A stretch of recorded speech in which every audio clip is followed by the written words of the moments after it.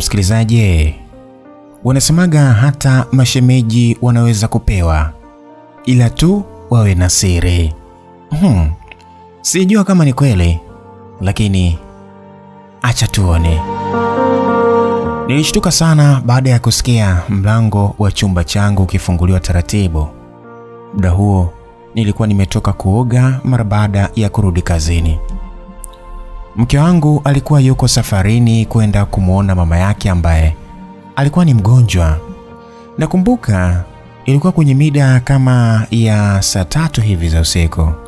Nikaanza kujiuliza maswali mengi sana kichwani mwangu yasiyokuwa na majibu. Nilikuwa nawaza sana, ni nani huyu? Kumbe alikuwa shemeji yangu Penina. Ndiyo, ni yule mdogo wa mke wangu. Tulikuwa tunaishi naye pale nyumbani siku zote. Kipindi hicho alikuwa likizo baada ya kutoka chuo. Ni kitu gani kimemleta usiku huu? Maswali mengi sana yalikuwa yametawala. Kitu cha kushangaza, alikuwa amevaa mavazi ya ajabu sana. Naweza kusema alikuwa ni nusu uchi, kwani alivalia suruali yake nyepesi sana yenye asili ya mpira. Kifuani alikuwa yuko wazi kabisa. Niliweza kuona lile umbo lake zuri sana. Katika mazingira ya utatanishi, alikuwa amevaa cheni mbili kiunoni mwake. Mm, niliweza kuziona baada ya yeye kushusha suruali yake kwa chini kidogo. Da, sijui alikuwa na maana gani jamani. Mapigo yangu ya moyo yalianza kwenda kasi sana, mithili ya mtu aliyetoka kukimbia mbio ndefu. Nilikuwa katika wakati mgumu sana, msikilizaji. Penina, kulikoni? iliamua kumuliza swali. Hmm, unajua alijibu nini? Ha, twende pamoja katika simulizi nzuri kabisa hii ya jamani shemeji. Mtunzi wa simulizi hii anaitwa Saadi Salum Mzora. Unaweza kumpata kwa simu namba 0688383183. Ninaye kusimulia simulizi hii si mwingine ni mimi Lucas Lumbas kutoka hapa Simulizi Mix. Nami kwa WhatsApp unaweza ukanipata kwa simu namba 0710 20 8145. Mhm, tuendelea sasa kufahamu alijibiwa nini. Kwa kweli nimeshindwa kabisa kuvumilia shemeji, niko katika wakati mgumu sana. Ni wewe ndiye utakayeweza kunisaidia kwa sasa, na ni muda mrefu sana nilikuwa nakupenda, lakini nilikosa kabisa ujasiri wa kukuambia ukweli juu ya hili. Kwa sasa da, uzalendo umenishinda. Muda huo alikuwa tayari ameshasogelea kabisa karibu na kitanda changu. Alikuwa na hema kwa shida, pumzi zake zilianza kukata kabisa. Jicho lake legegu, utadhani alikuwa ametoka kula kungu, na kifua chake chenye mvuto wa kimapenzi du, vilikuwa changamoto sana kwangu. Maziwa yake yaliyosimama kama miiba ya mchongoma vilikuwa ni kikwazo kwangu. Oh, oh, asikwambie mtu bwana, haya mambo yasikie tu kwa mwenzio na wala usiombe akukute. Pepo la ngono lilikuwa limemshika pabaya, alikosa kabisa kujiamini. Machozi alikuwa anamlenga, ni kama alikuwa anataka kulia hivi. Midomo yake ilikolea shedo na mwanya wake sasa mm. hmm. vilinifanya niwe hoi bin taban. Mashavu yake yenye dimples yalinifanya nikose kabisa subra. Ha, nikaanza kujizozoa pale kitandani. Muda huo nilikuwa nimevaa bukta pekee huku nikiwa tumbo wazi.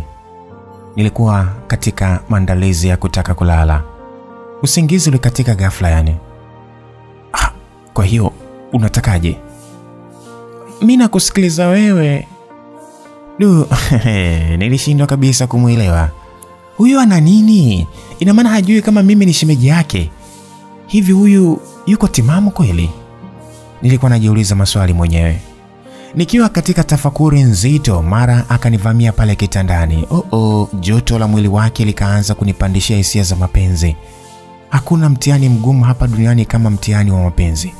Watu wengi waliopatwa na mtihani huu waliferi. Kwa upande wangu ndio sijawahi kufaulu kabisa. Nilikuwa katika sintofahamu kubwa sana. Unajua nini? Hmm. Sikuwahi kuwaza wala kufikiri kwamba eti ipo siku shemeji yangu Penina atafanya tukio la ajabu kama lile. Ndiyo, ni mtu ninayemjua vizuri sana, na ndiyo maana nilishangazwa na kile kitendo cha aibu sana. umefikiria nini kufanya hivi shemeji? Nilimuuliza swali huku nikiwa katika mihemko ya hali ya juu. Nilikuwa naongea huku sauti yangu ikiwa inakoroma. Nilikuwa katika hali mbaya sana, kwani mwili wangu wote ulikuwa unasisimka. Muda huo tulikuwa mtu mbili tu ndani ya chumba changu bwana. Ukimya ulitawala kabisa kwa kuwa ilikuwa ni wakati wa usiku. Ah, nadhani unajua ni kitu gani nataka kwako. Jamani Shem, ah, wewe sio mtoto mdogo bwana. Ina maana hujui chochote kile kinachoendelea. Hebu acha unoko wako basi. Da. Hapa ndipo aliponimaliza kabisa. Aliongea maneno haya kwa sauti yake nyororo sana. Ni ile sauti ya kumtoa nyoka pangoni, tena ilisikika kama mtu mwenye ugonjwa wa mafua vile, kwa kuwa alikuwa anaongelea puani. Hmm. Kumbato lake likasababisha baadhi ya viungo vyangu vya mwili kuanza kuonyesha ushirikiano wa karibu kabisa. Wow! Mkono wangu wa kuume ukaanza kutomasa zile chuchu zake zilizokuwa zimesimama kama ncha msumari. Kifuani ziwa dodo bwana, shanga ya cheni kiunoni, sauti nyororo kama ndege cheriku zikanifanya niwe katika ulimwengu mwingine kabisa. Mm -mm, nikajisi kama niko peponi vile. Hivi unajua hiki tunachotaka kufanya sio sahihi kabisa?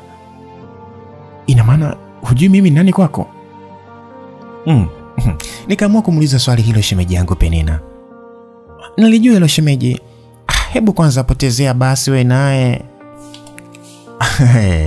Da, sijui ni pepo gani alikuwa amemkumba. Ndiyo, maana mm, hmm, sio kwa maneno yale ya kishetani. Bila kupoteza muda, akachukua mkono wake na kuingiza kule alipokuwa mheshimiwa rais wangu na kuanza kumshika kwa ufundi wa hali ya juu.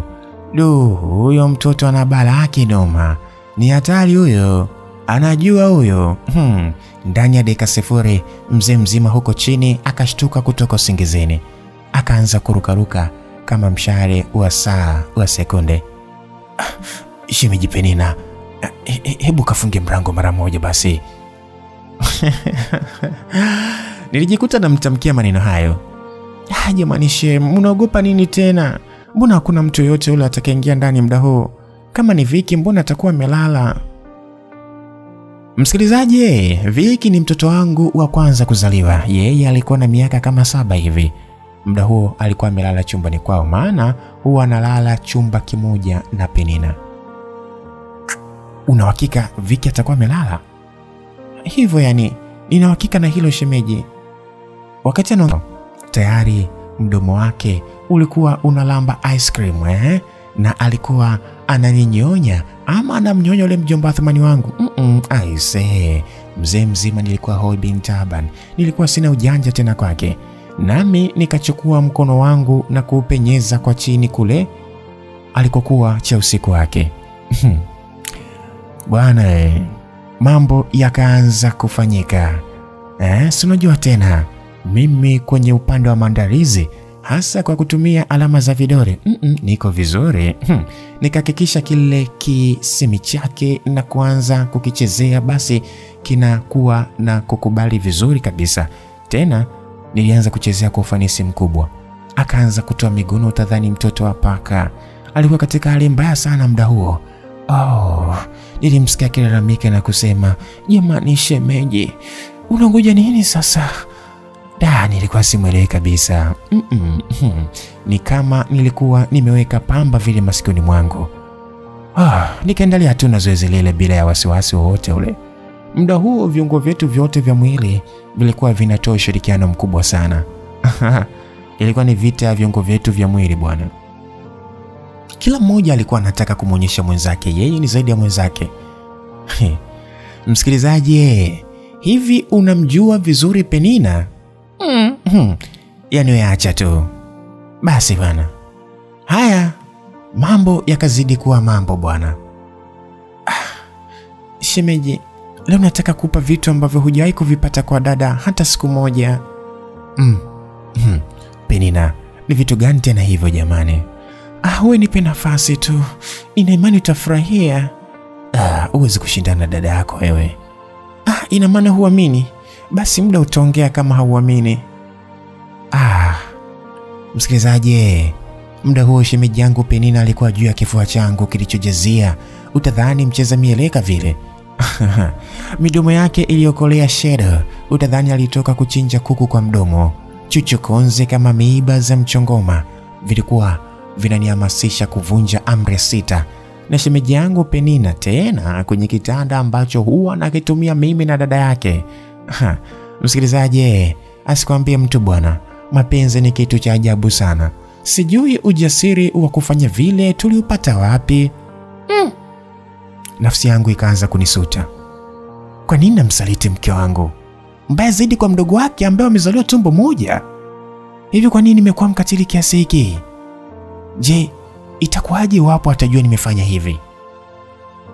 Ah, niko najiuliza maswali mengi sana kichwani mwangu yasiyokuwa na majibu.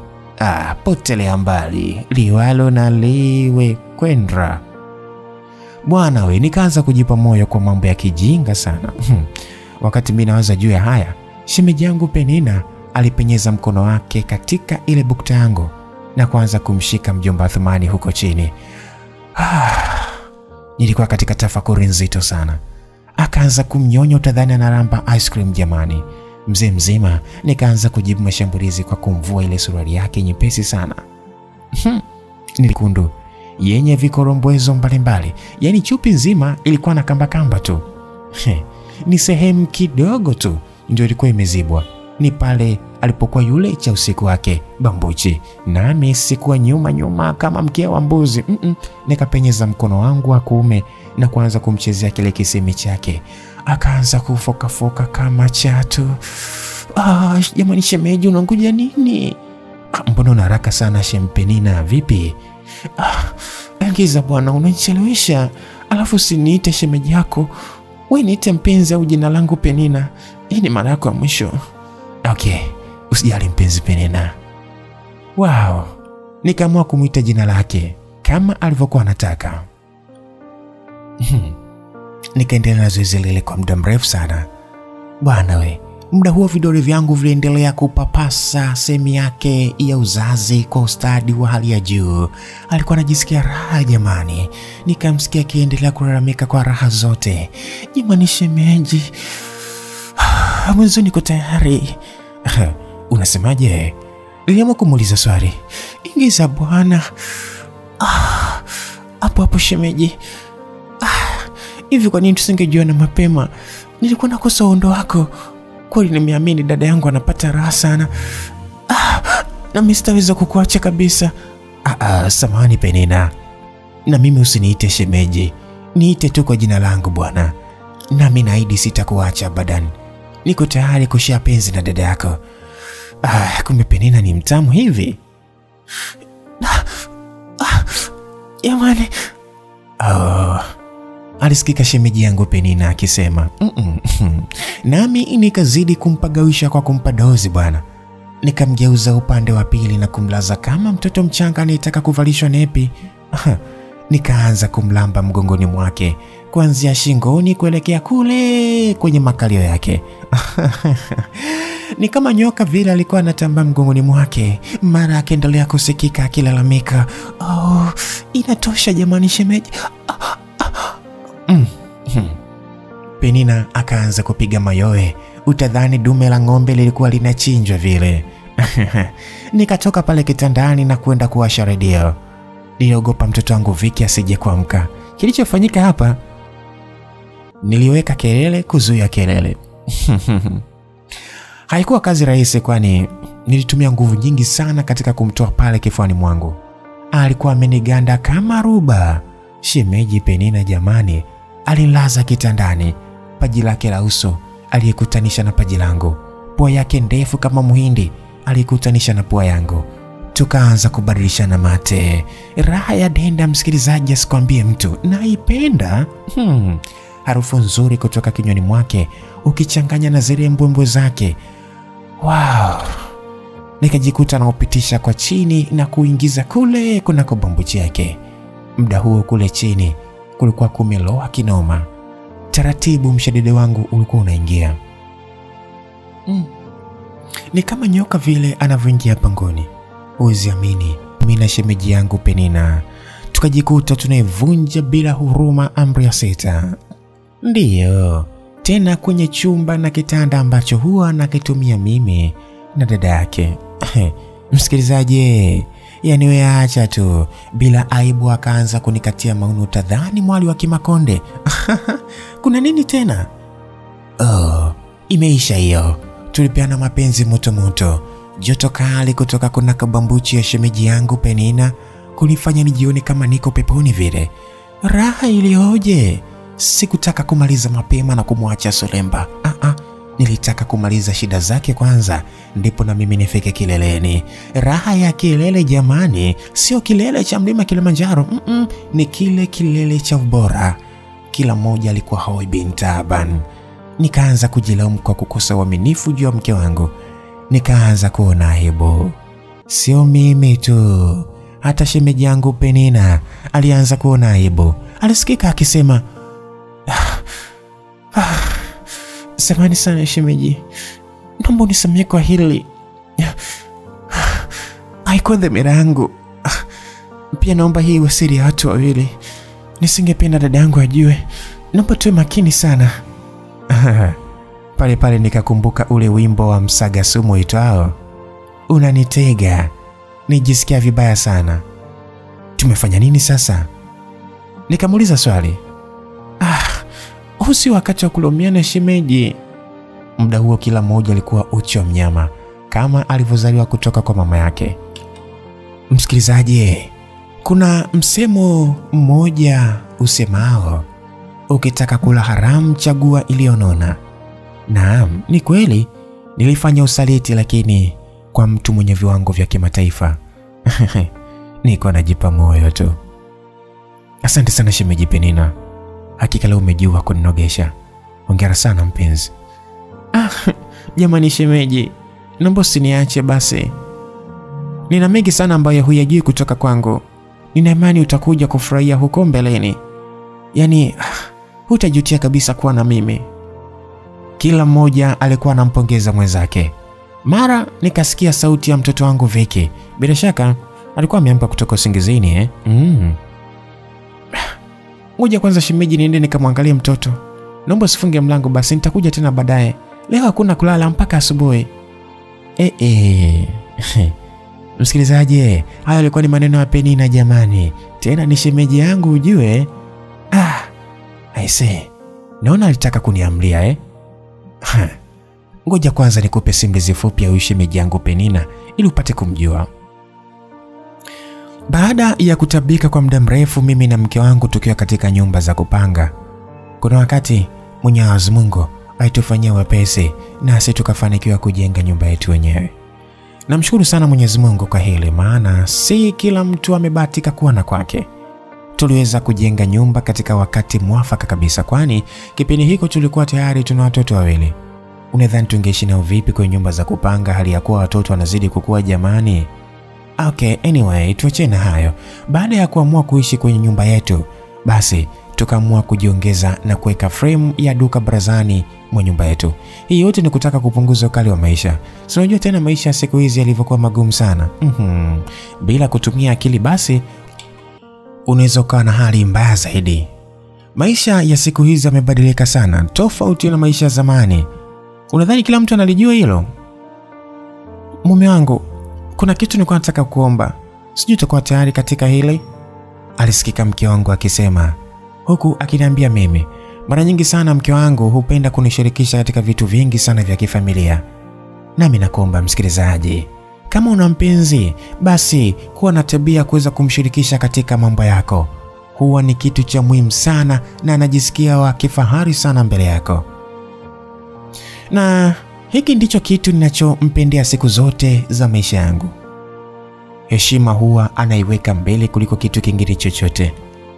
Naambia mke wangu, unadhani usiponiambia mimi mmeo utamwambia nani mwingine?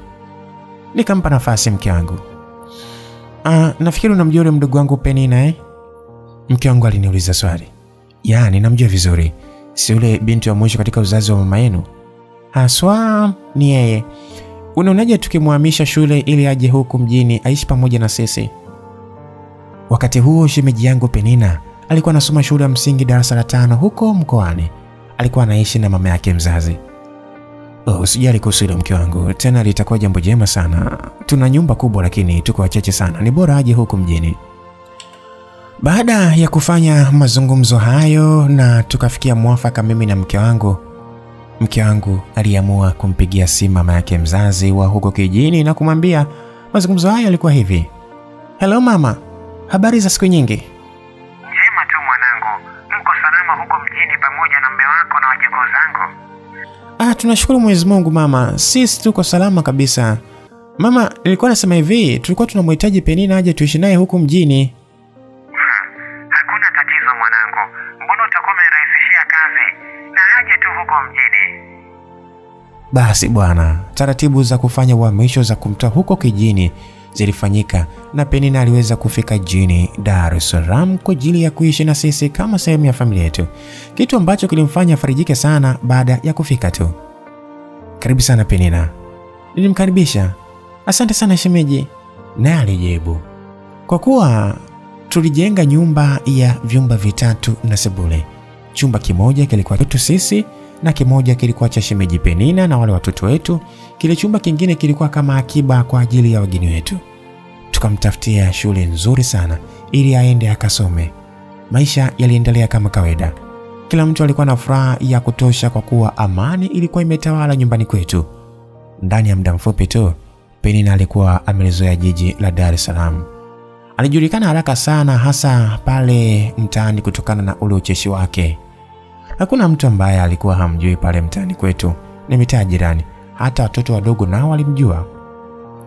Penina alikuwa haraka sana na kuanza kuonekana katika muonekano mzuri sana. Ukweli ni kwamba kwa kiasi fulani hivi alikuwa yuko vizuri. Ni binti mwembamba lakini mwenye shepu ya kuvutia. Alikuwa na ile shepu ya Kiingereza. Eh, unajua shepu ya English figure we? Kwa lugha nyepesi unaweza kusema alikuwa na umbo namba nane. Pia alikuwa na kiuno chembamba kama nyegu na makalio ya kubinuka. Sasa hivi vilimfanya aonekane mzuri zaidi. Si unajua tena watoto wa kike mm-hmm. mara nyingi huwa wanakuwa haraka sana tofauti na watoto wa kiume. Nikiwa kama baba mwa nyumba, nilihakikisha na nawalea watoto wangu katika maadili mazuri sana. Hili tulikuwa tunalifanya kwa kushirikiana na mke wangu. Baada ya kufika darasa la saba, Penina alizidi kukua na kuonekana binti mrembo machoni mwa watu. Vidume vilianza kupiga misele pale nyumbani. Nilikuwa napata shikamoo kama zote vile kutoka kwa watoto wa kiume pale mtaani. Nilijua tu hizi shikamoo sio bure. Kuna siku nitakuja kusikia tu kitu. Mara Penina alipevuka na kuvunja ungo. Eh, alikuwa mwali bwana. Sikiliza mke wangu, Penina kwa sasa ameshakuwa mtu mzima. Hakikisha unampa mafunzo yote ya namna ya kujitunza. Ni kweli kabisa mme wangu, lakini huu ni wajibu wetu sote. Alisikika akisema hivyo. Ni kweli, na ndio maana nimeamua kukupa tahadhari ili ulijue hili, na hili ni moja kati ya majukumu yangu. Hmm, nimekuelewa mme wangu. Aha, alafu unajua wewe ni mama wa nyumbani, muda mwingi sana uko nao hawa watoto. Ya, uko sahihi kabisa. Baada ya kufika mwisho wa mwaka, Penina alifanya mtihani wake wa mwisho wa kumaliza elimu ya msingi, hivyo alibaki nyumbani huku akisubiri matokeo. Kipindi chote hiki alikuwa ni binti anayejipenda sana na kujithamini mno. Kwa kweli, mimi na mke wangu tulimpenda sana, hatukuwahi kujutia kuwa naye nyumbani. Ndiyo, kama hivi ndivyo ilivyokuwa bwana. Hii ni simulizi tamu sana msikilizaji, kuna mengi ambayo yanakuja huko mbeleni. Eh, kwa hiyo tuendelee kuwa sote pamoja mpaka mwisho. Sasa kipindi hicho sasa alikuwa ni binti mwenye mvuto wa mapenzi na alianza kumvutia kila mwanaume aliyemwona machoni mwake.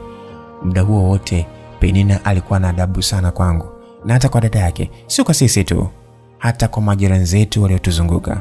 Kuna utani fulani huaga unafanyana mtu na shemeji yake eh? Mm-hmm. Bila shaka utakuwa unaojua ni ule wa kuitana mke na mume. Hili halikuwa jambo la ajabu, kwani huu ulikuwa ni utani wa kawaida kabisa kwa mtu na shemeji ya na shemeji yake bwana. Wakati mwingine nikiwa natoka kazini, alikuwa ananipokea vifurushi na kuanza kunitania, mume wangu, leo umeniletea nini? Hmm, we usiulize mke wangu bwana eh? kwani siufungue tu huwe mzigo ili uangalie kama kuna nini ndani, sio kwanza kuniuliza tu we naye mke.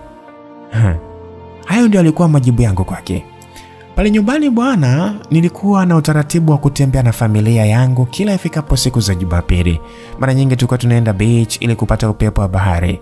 Tulikuwa tunatoka pamoja, mimi na mke wangu, wakiwemo watoto wangu pia, bila kumsahau nani, ya shemeji Penina. Huu ndio ulikuwa utaratibu wetu. Kwa kweli tuliishi kwa furaha sana. Baada ya miezi kadhaa kupita, matokeo ya mtihani wa darasa la saba yalitoka. Penina alifanya vizuri sana katika masomo yake na kufanikiwa kujiunga na elimu ya sekondari. Tulifurahi sana kwani kufaulu kwake yalikuwa ni mafanikio yetu pia, kwa kuwa alikuwa ndani ya familia yangu. Mm, nilikuwa nakaa naye pale nyumbani, hivyo alikuwa ananihusu kwa namna moja ama nyingine. Nilifurahi kupita maelezo. Wow, hongera sana mke wangu kwa kufaulu, nimwambia shemeji yangu Penina. Asante sana mume, naye alijibu sasa unatakiwa upambane ili ufanye vizuri zaidi katika elimu yako ya sekondari. Usijali shemeji yangu, wewe niachie mimi. He, alisikika Penina akijibu. Mke wangu, tuna mzigo mzito kwa sasa, tunatakiwa kumsomesha huyu Penina. Ni kweli kabisa mme wangu, alisikika mke wangu akisema kwa lengo la kuniambia mimi. Unatakiwa ukae naye chini na umwambie awe makini na masomo yake, asilete masiara kabisa. Uko sahihi kabisa mme wangu, maana tusije tukapoteza pesa zetu bure. Anatakiwa zingatia masomo yake na kukwepa vishawishi mbalimbali kutoka kwa watoto wa kiume. Hivyo basi, mke wangu alimuita mdogo wake na kumwasa juu ya elimu. Alimwambia awe makini sana na asikubali kushawishika na wanaume akaja kuharibikiwa na mambo yake. Baada ya kumkamilishia mambo yake yote, Penina akaanza masomo yake. Bwana, nilifurahi sana baada ya kuona mwenendo wake mzuri wa masomo yake alionekana yuko makini sana na masomo yake. Hata mke wangu alifurahi pia. Mwaka wa kwanza ukapita na alifanya vizuri sana katika masomo yake. Nikaamua kumpa zawadi nzuri ili kumpa hamasa ili aendelee kufanya vizuri zaidi katika masomo yake. Msikilizaji, Waswahili wanasema mgema akisifiwa tembo hufanya nini? Hulitia maji. Mm-hmm. Kidogo kidogo Penina alianza kuonyesha mabadiliko ya tabia zake. Akaanza kuvaa vinguo vifupi ambavyo vilikuwa vinaonyesha sehemu kubwa sana mwili wake. Kipindi hiko ule urembo wake ulianza kuonekana kwa kuwa hata mwili wake ulikuwa unaonekana umenawiri na kuzidi kupendeza. Umbo lake liliongezeka ukubwa na kuonekana kama mtu mzima fulani hivi, japokuwa alikuwa ni mwanafunzi. Sikutaka kulifumbia macho swala lile. Nikaamua kukaa tena na mke wangu na kuanza kumfanyia mjadala shemeji Penina. Hivi kwa sasa mdogo wako unamwonaje? Nilimuuliza swali hilo mke wangu. Kwani siku hizi amekuwaje? Mke wangu naye aliniuliza mimi swali hilo. Ah, kwa sasa ameshakuwa mtu mzima, awe anaangalia ni mavazi gani yanafaa kwake. Oh, basi nitakaa kumweleza kweli. Hayo yalikuwa ni majibu ya mke wangu. Kama kawaida yangu bwana, nilikuwa napenda sana kufuatilia mwenendo wake wa shule kila siku. Hata matokeo yake ya mtihani yalianza kuwa mabaya, tofauti kabisa na hapo awali. Kitendo hicho kilinikera sana, nikaamua kumwambia, mbona matokeo yako ya mtihani safari hii hayaridhishi? Yaani umefanya vibaya sana. Hapana shemeji, safari hii mitihani ilikuwa migumu sana, ni wengi tumefanya vibaya. Naomba ongeze juhudi katika masomo yako, sawa? Niliamua kumwambia ukweli. Sasa kadri siku zilivyozidi kwenda ndivyo Penina alivyokuwa anazidi kubadilika kitabia. Alikuwa anachelewa sana kurudi nyumbani pindi akitoka shuleni. Kitendo kile hata mke wangu kilimkera. Ndipo alipoamua kuvunja ukimya na kuamua kumwambia ukweli mdogo wake. Mdogo wangu Penina, kwa sasa una mabadiliko makubwa sana yani. Yaani umebadilika mno. Kwa nini hivi umekuwa hivyo? Yaani umekuwa ni mtu ajabu ajabu sana. Kwa nini umebadilika ghafla kiasi hicho? Dada, kwani mimi nimekuwaje? He, ina maana wewe mwenyewe jioni ama? Mke wangu alimuuliza swali hilo ili kujua. Dada, mbona mimi najiona kawaida sana? Eti eh? Okay, kuanzia sasa sitaki kukuona ukivaa vinguo vyako vifupi. Alisikika akisema hivyo. Nami kama mlezi nikaamua kuongezea maneno yangu fulani kwa ajili ya kumwonya. Na mimi sipendi kukuona ukiwa unachelewa sana kurudi shuleni. Naomba makini sana ise. Nimeelewa, aliongea huku akionyesha kama hajafurahishwa na maneno yetu. Basi bwana, maisha yaliendelea kama kawaida. Ukweli ni kwamba Penina alikuwa anaonekana kama amejiunga na vikundi vya mabinti wasiojitambua huko shuleni. Mbali ya mimi na mke wangu kumweka chini na kumwonya, hii haikusaidia kitu kabisa, kwani ndiyo kwanza aliamua kuzidisha upozi wake. Mwisho wake dada yake alikuwa anamwangalia tu na asijue cha kufanya, ni kama alimshindwa fulani hivi. Kiukweli msikilizaji, yani sikufurahishwa kabisa na zile tabia zake. Nikiwa kama baba wa familia pale nyumbani, pia nikiwa kama mlezi wake, nizidi kumwonya ili abadili tabia zake, lakini shemeji Penina alikuwa kama ni sikio la kufa hivi, yani lilikuwa halisikii dawa kabisa hivyo yani. Ndiyo kama mlivyoona, Penina amebadilika sana tabia zake baada ya kulijua jiji. Da, hatari sana. Tabia Penina ilikuwa inabadilika kila kukicha. Miaka ilizidi kusonga mbele mpaka alipofikia kidato cha tatu. Hapo ndipo alipoanza kujiona kwamba na yeye amekuwa. Alikuwa apendi kabisa kujitofautisha na sisi. Ni kweli Penina alikuwa ameshakuwa, lakini si kwa kuweza kujifananisha na sisi bwana. Kuna siku moja nilishangaa sana. na kumbuka siku hiyo nilikuwa nimetoka kazini bwana. Nilipofika nyumbani, si nikamkuta mke wangu pamoja na watoto wangu akiwemo shemeji Penina wakiwa wanaangalia TV. Basi nikawasalimia wote kwa pamoja na kisha nikaingia chumbani kwangu. Baada ya muda mfupi, mke wangu alikuja chumbani. Habari za kazini, mume wangu? Njema tu. Habari za hapa nyumbani? Asi, tunaendelea vizuri tu. E, vipi kuhusu watoto? Ah, watoto ni wazima tu. Aha. Ya, lakini sijui kama utaanza kula ndipo ukaoge ama utaanza kuoga ndipo ule. Kila kitu kiko tayari kabisa. Ah, hebu acha nikoge kwanza ndipo nije kula. Asante, mi nipo sebuleni naangalia TV. Basi bwana, nikaamua kwenda bafuni na kuoga ili nijiandae kwenda kula. Wakati huo pale nyumbani walikuwa wameshakula, maana siku hiyo nilikuwa nimechelewa kidogo kurudi kutoka kazini. Kwa kawaida huwa tuna utaratibu wa kukaa pamoja kifamilia na kula pamoja. Huu ndio ulikuwa utaratibu wetu pale nyumbani. Baada ya muda mfupi, nikatoka chumbani na kwenda sebuleni kwa ajili ya kupata chakula cha usiku, huku tukijiandaa kuangalia filamu moja ambayo huwa inapendwa na watu wengi sana kwa kipindi hicho. Filamu hii ilikuwa inaitwa Warriors, maarufu sana kwa jina la Manu. Ni filamu iliyokuwa inapendwa karibu na kila mtu. Wakati sasa naendelea kula, mara ile filamu bwana si. Mara nyingi filamu hii inapoanza pale nyumbani, kila mtu huacha kila kitu alichokuwa anafanya na kuanza kuifuatilia filamu hii. Kwa kifupi, ilikuwa imetushika babaya. Kuikosa ese ilikuwa ni kesi ya jinai. Ni kama vile ambavyo wewe msikilizaji, inaweza ikapita siku bila kusikiliza simulizi kutoka Simulizi Max, unaweza kujihisi kuumwa bwana. Basi kuna kitu kimoja kilikuwa kimeishangaza sana. Wakati sisi tuko bize na kuangalia ile filamu, Penina alikuwa bize na kuchezea simu. Haikuwa kawaida yake kabisa kuacha ile filamu ipite wakati yuko nyumbani. Nilikuwa najiuliza maswali mengi sana kichwani mwangu bila hata kupata majibu. Ndiyo, nilikuwa nawaza, nilishindwa kumwelewa kabisa shemeji yangu Penina. Nikaanza kujiuliza, hii simu ni ya nani na anawasiliana na nani? Ile simu ilikuwa inaonekana ni mpya kabisa machoni mwangu. Sikuwahi kumwona nayo, nikawa naendelea kufuatilia ile filamu huku nikijiuliza maswali mwenyewe kichwani. Hivi mke wangu anajua kama mdogo wake Penina anamiliki simu ya gharama kama ile? Na kama alikuwa anajua, inakuwaje anamiliki simu wakati yeye ni mwanafunzi? Anafikiria nini? Na atakuwa ameipata wapi simu hii? Hayo yote nilikuwa najiuliza mwenyewe. Shemeji Penina alionekana ni kama alikuwa anatumiwa ujumbe mfupi wa maneno na yeye alikuwa bizi katika kujibu. Mke wangu alikuwa yuko bizi tu na kuangalia ile filamu. Kwa kiasi fulani ile hali ilinikera sana, nikiwa kama mzazi au kichwa cha familia pale nyumbani kwangu. Baada ya muda mfupi, nimeona shemeji Penina akitoka nje na kwenda kuongea na simu. Hmm. Msikilizaji, huwezi amini bwana, ilimchukua muda mrefu sana huko nje mpaka filamu inaisha. Yeye alikuwa hajui chochote kile kinachoendelea. Baada ya filamu kuisha, airudi ndani na kuanza kuwauliza wenzie maswali akitaka eti wamsimulie baadhi ya mambo yaliyotokea katika filamu ile. Kwa kweli shemeji Penina alinishangaza sana kwa siku ile. Yaani, kwa kifupi tu, mke wangu alionekana ni kama mtu aliyemshindwa kabisa mdogo wake. kwani ilifikia hatua shemeji Penina alikuwa anafanya makosa mbele ya dada yake na yeye alikuwa kimya kabisa. Kwa upande wangu haikuwa hivyo kabisa.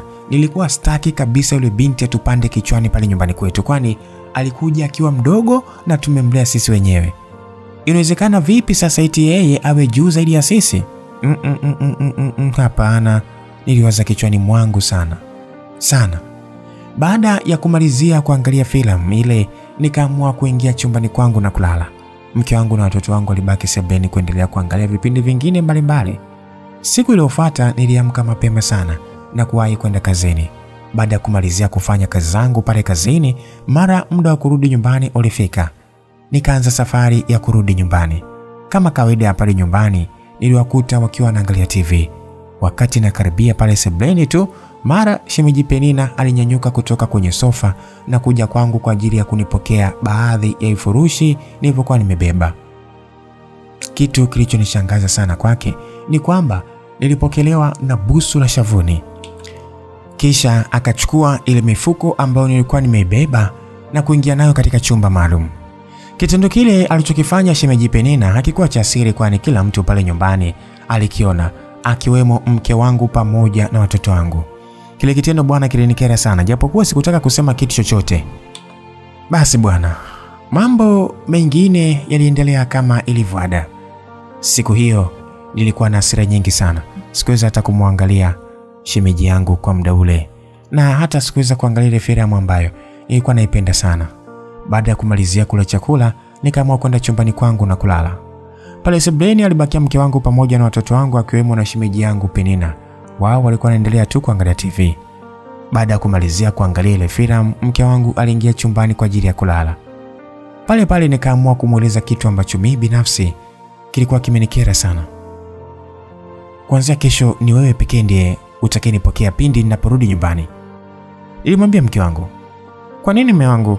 Kwani kuna kosa gani watoto wako kupokea, au kuna jambo gani yani ambalo limekufanya mpaka umezungumza hivyo? Hakuna kosa lolote, lakini nikiwa kama baba mwenye nyumba nimeamua iwe hivyo. Mm. Basi hakuna tatizo mme wangu. Alafu naomba mwambie mdogo wako Penina kujuana isiwe taabu, umenielewa eh? Ah, kwani amefanya nini shemeji yako? Ah, ina maana hukuona kitendo alichonifanyia wakati ananipokea? Ah, unazungumzia lile busu alilokupa? Ndiyo, kumbe hata uliliona. Ah, mi binafsi sijapenda. Sasa mbona ukuonyesha kukerwa na hilo jambo? Ah, nitakaa naye tu ili nimweleze kiundani zaidi. Si unajua tena pale kulikuwa na watoto. Kwa kweli mdogo wangu Penina yani amekuwa na tabia za ajabu ajabu sana yani. Da, yani siku hizi hata simuelewi. Mazungumzo yetu yaliishia pale. Mke wangu alijua kabisa kama siku ile nilikuwa nimekasirika sana. Ni kweli kuna wakati tulikuwa na miasira tu na kuna wakati tulikuwa na masiara fulani hivi ya kawaida kati yangu na shemeji Penina, lakini ule utani wa kawaida wa mtu na shemeji yake mm, naona ndio ulikuwa unaendelea kama kawaida yangu bwana. Siku iliyofuata niliamka mapema na kwenda kazini kwangu. Siku hiyo nilikuwa sina furaha kabisa. Kila nilipokuwa nakumbuka lile tukio la jana yake, daise lilinikera sana. Baada ya kumalizia kazi zangu, nikaamua kurudi nyumbani. Nilipofika nyumbani, nikaingia ndani kwangu moja kwa moja. Siku hiyo nilikuwa sio mtu wa mambo mengi sana. Mara nikamsikia shemeji yangu Penina akisema, shemeji, nakuomba mara moja na mazungumzo nawe kama utojari. Oh, unataka tutoke faraga au tuzungumze tu mumu ndani? Ah, naomba tutoke nje mara moja. Mi na shemeji yangu Penina tulitoka nje kwa ajili ya kikao cha dharura. Muda huo nilikuwa sijui kabisa ajenda ya kikao hicho chenyewe. Samani sana shemeji yangu, kani nimeukera kutokana na tukio la jana, naomba nisamehe sana. Ah, unakumbuka jana ulifanya tukio gani? Nakumbuka sana, si nilikubusu mbele ya dada wakati unarudi kutoka kazini, unakumbuka? Sio mbele ya dada yako tu, kitendo kile hakikubaliki kabisa, hata tukiwa wawili tu. Ah, unajua nini shemeji, mi nilikuwa nafanya utani tu kama mtu na shemeji yake vile. Najua ule ulikuwa ni utani, lakini utani mwingine usizidi mipaka isee. Ah, Basi naomba unisamehe kwa hilo. Hakuna tatizo, mi nikupa tu tahadhari. Unadhani dada yako angehisi nini? Ni yeye ndio aliyeniita na kuniambia kwamba lile tukio lilikukera sana pamoja na yeye mwenyewe, lakini mumba msamaha. Okay, hakuna tatizo shemeji yangu, iliyopita si ndio ile tugange ajayo. Basi bwana, baada ya kumwambia hivyo, maisha yaliendelea kama kawaida.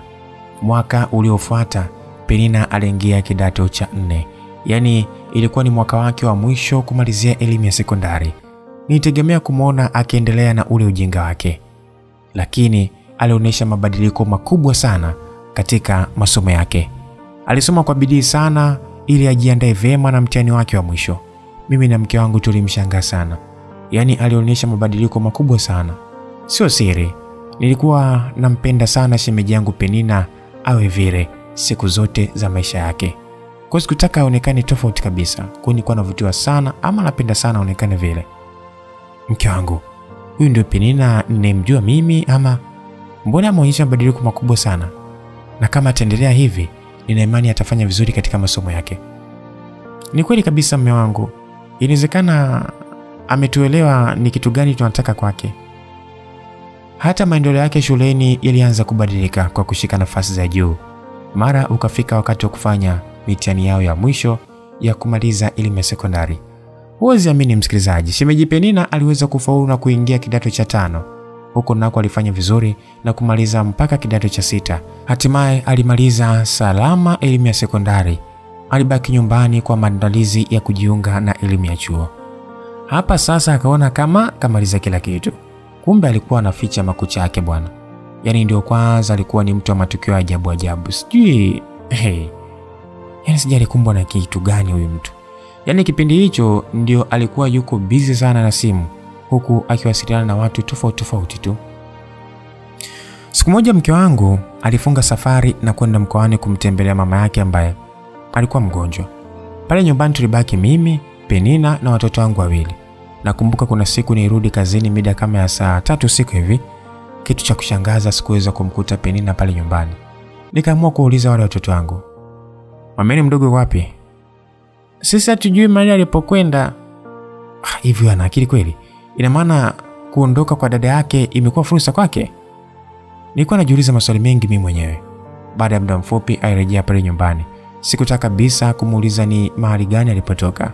Kama kawaida yake bwana, alivaa kimini chake huku vipaji vyake vikiwa vinaonekana. Kweli nimeamini sikio la kufa alisikii dawa. Mambo, niambie shem, alisikika akisema. Hakutaka kuniamkia kama ilivyo desturi yake. Aliamua kunisalimia kisela, utadhani sio shemeji yake. Nilimtazama na kumwambia baridi tu, inakuwaje? Nami nikaamua kumjibu kisera, si ndivyo alivyokuwa anataka? Kumbe nini sasa? Nikaingia chumbani kwangu na kupanga mambo yangu kwa ajili ya siku ya kesho yake. Kisha nikatoka ndani na kwenda sebleni ili kuangalia taarifa ya habari. Shemeji Penina alikuwa yuko bize na kuongea na simu muda wote. Yaani siku hiyo ndiyo ilikuwa ni balaa, maana muda wote alikuwa online. Utadhani namba yake ni ya mhudumu kwa wateja. Ndiyo, alikuwa bize muda wote. Baada ya kumalizia kuangalia taarifa habari, nikaamua kuingia chumbani kwangu na kulala. Siku iliyofuata niliamka mapema sana na kuwahi kazini baada ya juma moja hivi kupita. Mke wangu alirudi safari yake huko kijijini. Habari yako mke wangu? Njema tu mume wangu, habari za hapa? Ah, sisi wazima tu. Vipi hali ya mama? Anamshukuru Mungu anaendelea vizuri. Oh, karibu sana mke wangu. Asante sana mume wangu. Baada ya kumaliza kusalimia, nikamuuliza tena, hivi mke wangu, hii simu anayotumia shemeji Penina ni ya nani? Maana ana simu nzuri sana na ya gharama kubwa sana. Ah, hata najua basi mme wangu. Sasa unakosaje kujua? Ah, bwana, mimi huyu Penina kashanishinda tabia. sikiliza mke wangu, kumbuka huyu yupo kwenye maa yetu, anawezaje kutumia simu? Ina maana wewe unakubaliana nalo? Baada ya ukimya wa muda mrefu sana, mke wangu alikuwa hana majibu yoyote ya kuniridhisha. Nikaamua kumwambia, naomba mwambie ache mara moja kutumia simu, asitaki kutupanda kichwani hapa. Hakuna tatizo, nitamfikishia ujumbe. Hayo yalikuwa ni maneno ya mke wangu. Zilipita siku kadhaa, huku Penina akiendelea kutumia simu yake kwa wiziwizi fulani hivi, lakini baada ya muda fulani nikagundua kwamba bado hajaacha kutumia simu. Nikaamua kulivalia njuga mimi mwenyewe swala lile. Nakumbuka siku hiyo nirudi kazini na kumkuta Penina yuko bize sana simu yake. Nikaamua kumuita mke wangu na kumwambia kwamba amuite mdogo wake pamoja na yeye mwenyewe kwa ajili ya majadiliano fulani. Uh, shemeji yangu Penina, naomba nikuulize swali. Hiyo simu unayotumia ni ya nani? Ah, Uh, hii ni ya kwangu mimi. Aha, umeipata wapi? Nimenunua kwa pesa yangu. Hiyo pesa kununulia simu umeipata wapi? Ni hii pesa mliokuwa mnanipa kwa ajili ya shule. Nilikuwa natumia kiasi na nyingine nilikuwa naitunza. Ni hivyo tu shemeji yangu. Ina maana sisi tulikuwa tunakupa pesa nyingi sana, maana hiyo simu ni ya gharama sana. Alinyamaza kimya, sijui cha kusema. Hmm. Sikiliza Penina, kwa sasa wewe bado ni mwanafunzi, umeona eh? Na muda wote unatarajia kujiunga na elimu ya chuo. Hebu soma kwanza basi. Ulikotoka ni mbali sana, achana kabisa na mambo ya simu, hayata kusaidia chochote. Muda huo bado alikuwepo kimya kabisa. Eh, na ukishamaliza masomo yako si utakuwa na muda mwingi sana wa kutumia simu? Ah, Sawa shemeji, nimeelewa. Alisikika Penina akisema huku akiniambia mimi.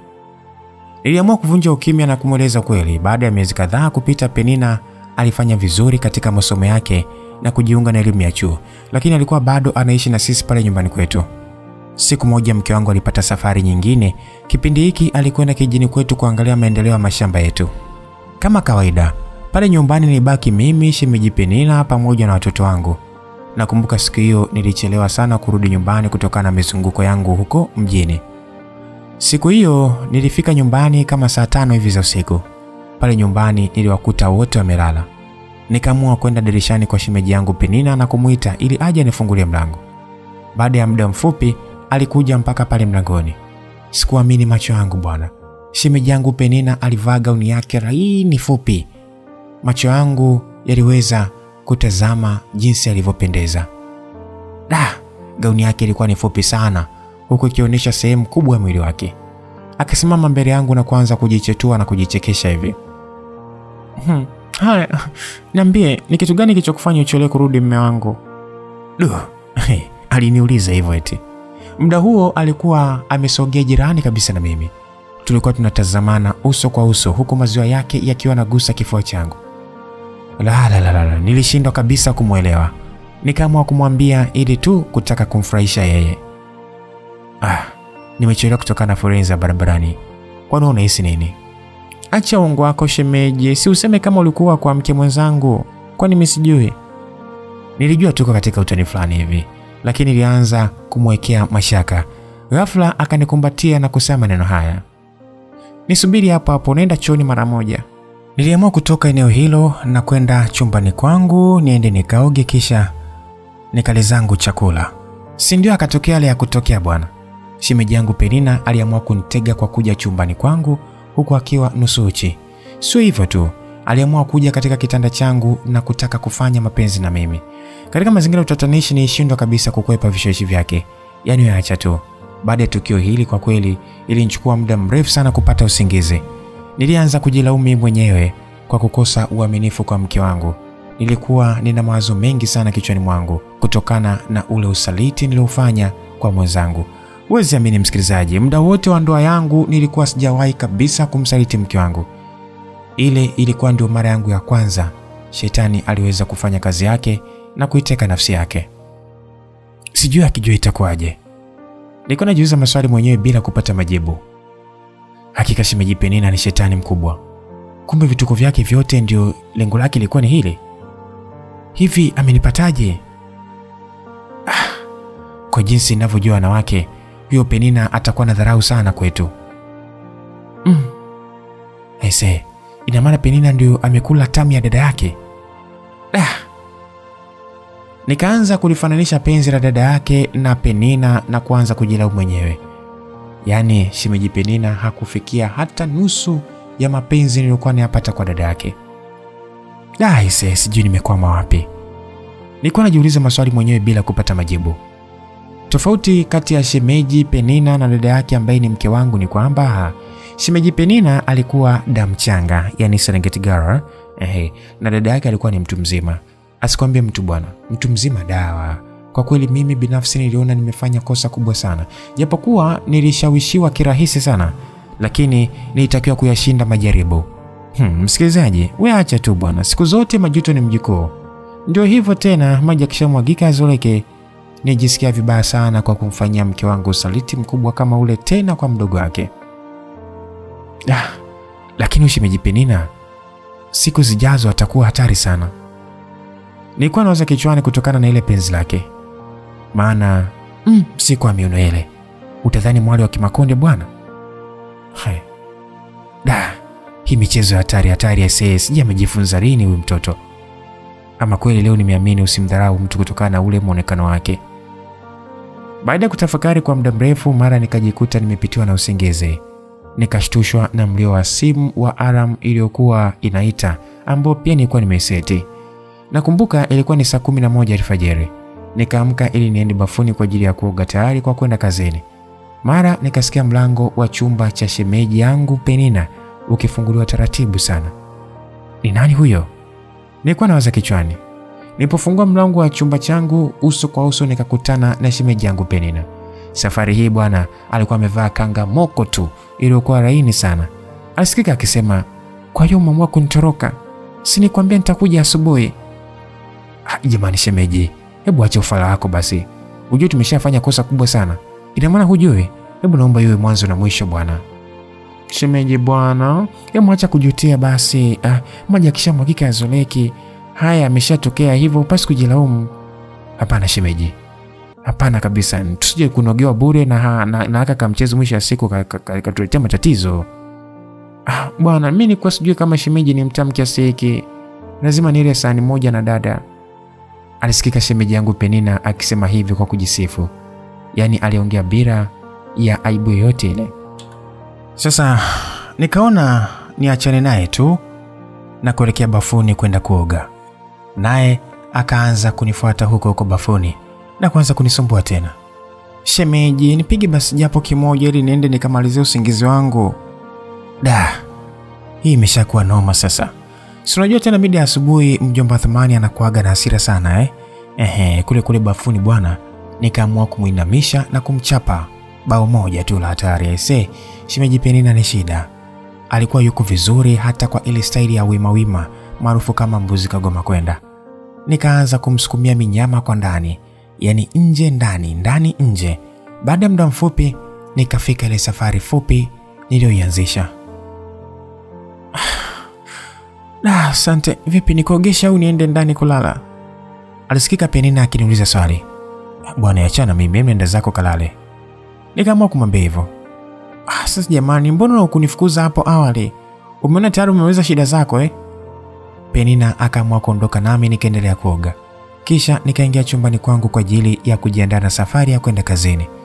Nikiwa njiani nilikuwa na mwazee tu. Hivi ubinti nah, ah, aisee, nisipokuwa makini anaweza kuvunja ndoa yangu.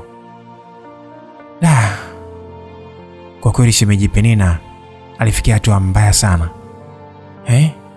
Unadhani dada yake akijua itakuwaje? Siku zote bwana, dunia haina siri. Nina imani iko siku atajua tu. Sijui sura yangu nitaiweka wapi, heshima yangu itashuka ghafla, sijui itakuwaje yani. Ah. Kwa ule muda wote ambao mke wangu alikuwa kule kijini, basi nilikuwa nakula tu mzigo kwa Penina. Du, yani pengo la mke wangu lililoachwa wazi liliweza kuzibwa na mdogo wake wa damu Penina. Ise, hatari sana. Basi bwana, baada ya wiki moja kupita, mke wangu alinipigia simu na kuniambia hello baby, kesho anatarajia kurudi nyumbani. Alisikika hivyo mke wangu akizungumza. Oh, karibu sana mke wangu, maana nilikuwa nimekumisi kinoman. Huwezi kunishinda mimi mangu. Hayo yalikuwa ni maneno ya mke wangu Penina. Ah, basi sawa mke wangu. Nilimwambia kumbe ulikuwa ni unafiki mkubwa bwana. Nilikuwa najisemea moyoni mwangu kwa ule uongo. Sasa nawai nini huku naye huyu naye? Ah, siendelee tu kukaa huko ili mimi niendelee kula utamu wa shemeji Penina. Hmm. Siku iliyofuata mke wangu alirudi nyumbani bwana. Muda huo mimi nilikuwa kazini. Ilipofika jioni, nikaamua kurudi nyumbani kwangu na kumkuta mke wangu akiwa na furaha kubwa sana. Akanikaribisha kwa bashasha mme wake. Nikajua huyu leo ana hamu sana mimi. So unajua tena tuna wiki hatujakutana eh? Hatujakutana kimwili kabisa mimi na mke wangu eh? Ehe.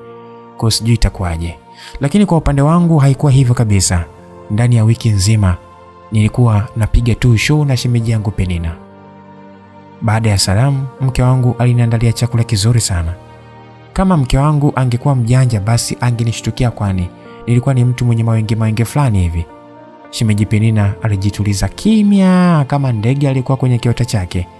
Baada ya kumalizia kula, mke wangu aliingia chumbani kwake mapema sana.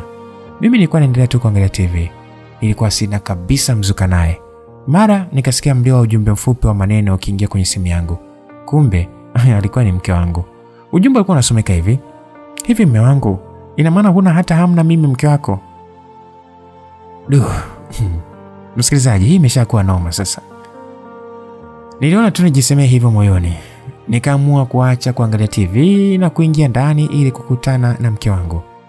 Huwezi amini bwana, sikuweza kabisa kushiriki tendo la ndoa na mke wangu kama ilivyo kaida yangu. Niliona tu ah, yani huwezi amini, nilimwona ni kama nile ni vile mtu wa kawaida sana, lakini mke wangu hakuweza kujua chochote. Alijua labda nitakuwa nimechoka huko kazini. Maisha pale nyumbani yaliendelea kama kawaida. Zilipita kama wiki mbili hivi bila kukutana kimwili na shemeji yangu Penina, lakini nimuona ni kama mtu ambaye hana furaha kabisa. Muda wote alikuwa ni mtu mwenye kisirani fulani hivi. Siku moja nilikuwa nimerudi kazini mapema sana.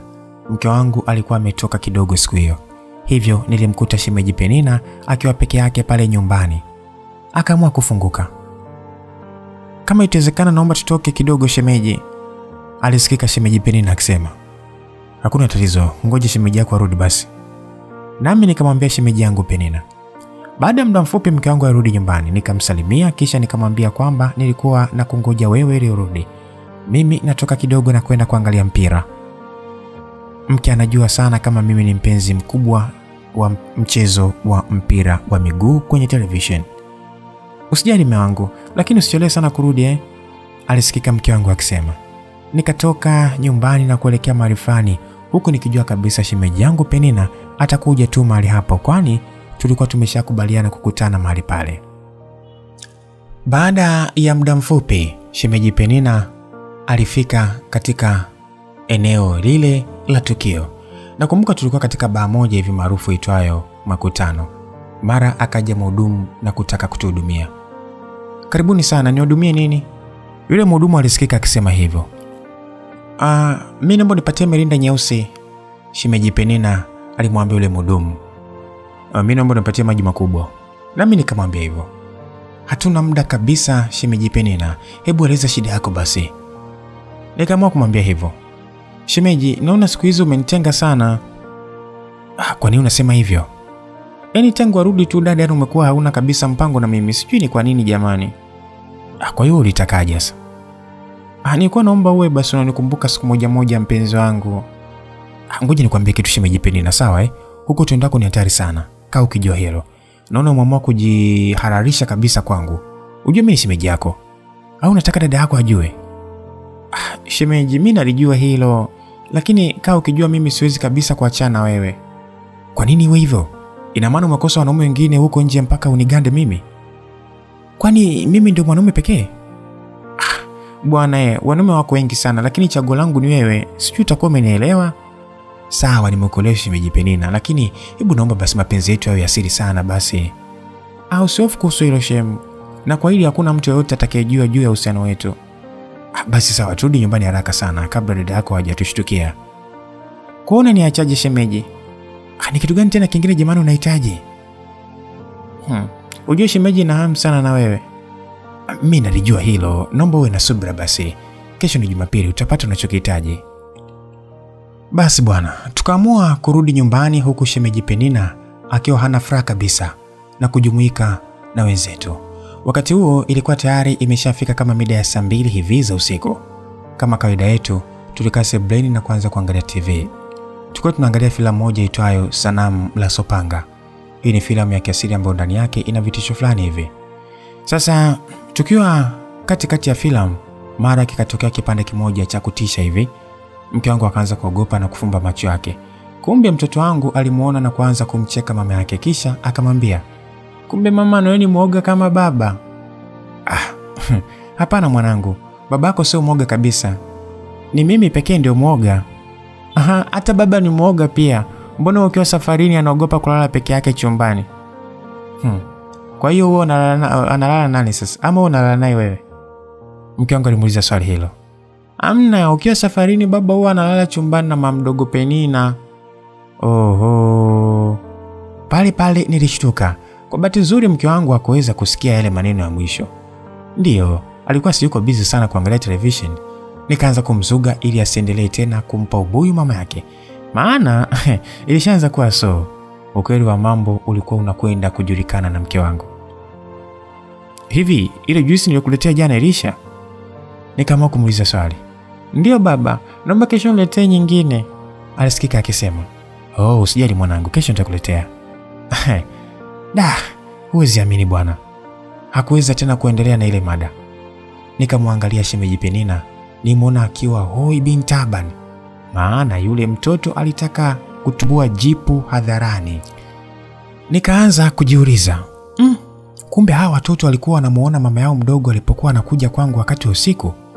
Oho, huu si ni msara huu jamani! Hii ni hatari sana, maana mambo yetu yalianza kuwa hadharani. Nikaamua kuacha kuangalia TV na kwenda ndani kulala. Siku iliyofuata ilikuwa ni Jumapili. Siku hii huwaga niko nyumbani kwa ajili ya mapumziko, na ndio siku ambayo niliahidiana na Penina kutoka naye. Siku hiyo nikajifanya nina mizunguko yangu mingi sana. Ilipofika saa nne nikaamua kutoka nyumbani na kuelekea mahali ninapopajua mimi.